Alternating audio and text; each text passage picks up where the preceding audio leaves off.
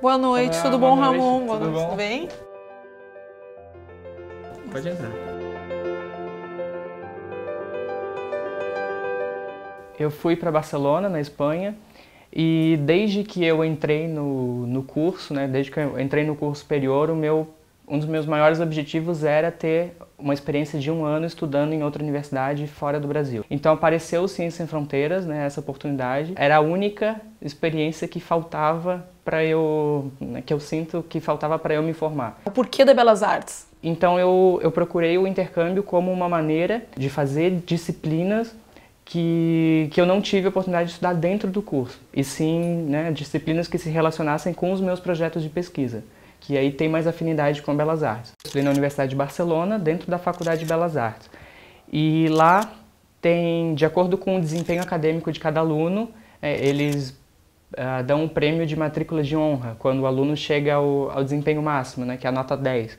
Então, nos, meus- nos dois semestres que eu fiquei lá, eu recebi essa premiação em duas disciplinas. O prêmio que eles dão é, é a gratuidade das disciplinas para o próximo ano. O que me fez, eu acho, também eh, ter essa, esse bom rendimento acadêmico é a preparação que a minha instituição de ensino aqui de Florianópolis me deu. E mas fora isso, tu desenvolveste um outro trabalho que participou do concurso. Isso. Aí, dentro de uma disciplina, que era a disciplina de. ah, eles chamam de arte medial, que é, é estudo sobre produção audiovisual mesmo, a, a professora eh, me indicou para um festival em Buenos Aires, que é o Festival Internacional de Vídeo Arte. De praticamente 3 mil trabalhos, eles selecionaram 800 e eu enviei dois trabalhos.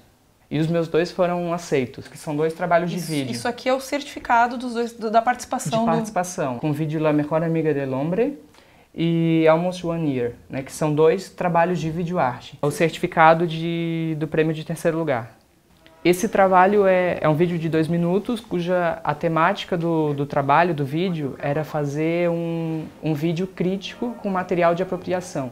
Então, com material buscado da internet. Eu fiz um vídeo que critica a televisão, como se fosse a televisão falando com o telespectador, né? É, pedindo, chamando, implorando pela atenção do telespectador.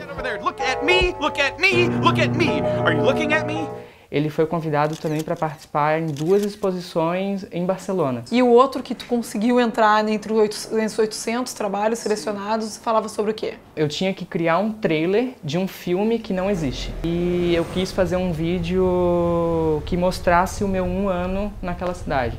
Então eu procurei vídeos de pessoas que passaram pela mesma experiência que eu.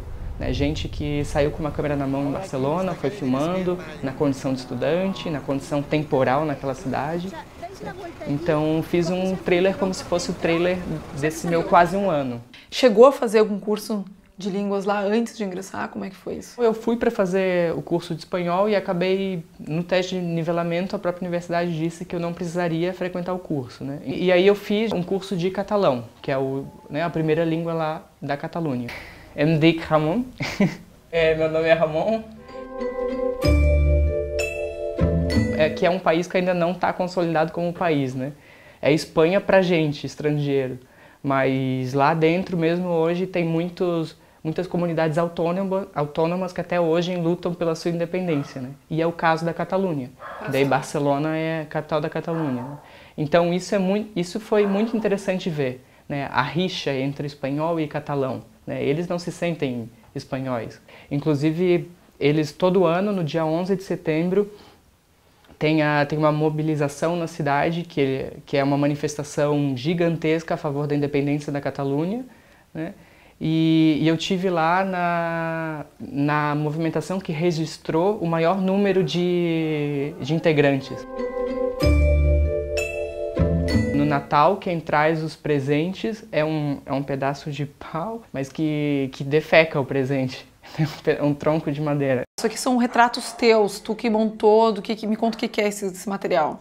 É, esses são quatro cadernos. Eu queria revelar algumas fotos, né? E aí eu pensei o que que o que que eu o que que eu trouxe de melhor né, dessa experiência. E aí eu acabei descobrindo que foram as pessoas.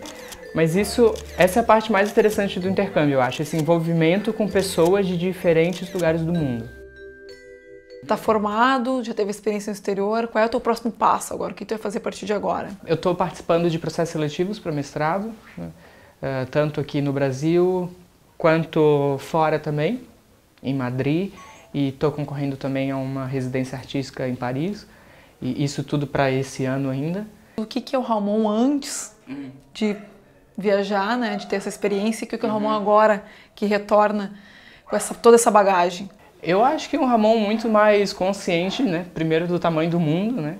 E consciente de, de, de todas as oportunidades que podem acontecer, que podem aparecer quando a gente se, se expõe, na verdade, para o mundo e, e, se arrisca dessa forma, né? Isso é um amadurecimento, primeiro, pessoal. Eu acho que, acima de tudo, pessoal, né?